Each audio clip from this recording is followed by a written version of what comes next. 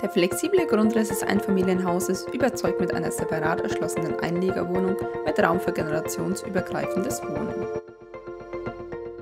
An das Haupthaus wurde ein Anbau angedockt, in dem im Erdgeschoss eine Einliegerwohnung eingeplant wurde. Rund 43 Quadratmeter mit einem offenen Wohnbereich, ein Schlafzimmer und ein kleines Badezimmer mit Dusche. Aktuell wohnt dort die älteste Tochter der Baufamilie. Eine Kombination aus einem Einfamilienhaus mit Walmdach und einem Flachdachanbau, in dem die Einliegerwohnung eingeplant wurde.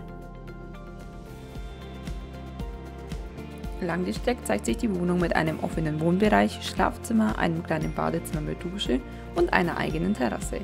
Auf rund 39 Quadratmeter fühlt sich die Mutter der Bauherrin sehr wohl.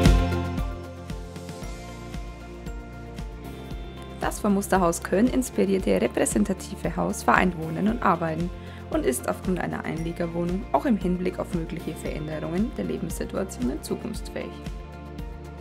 Die Einliegerwohnung ist mit einer Wohnküche und zwei Schlafzimmern ausgestattet. Sie lässt sich über einen kleinen Flur hinter dem Haupteingang des Hauses je nach Bedarf mit einem eigentlichen Wohnbereich verbinden oder als eigenständige Wohnung nutzen.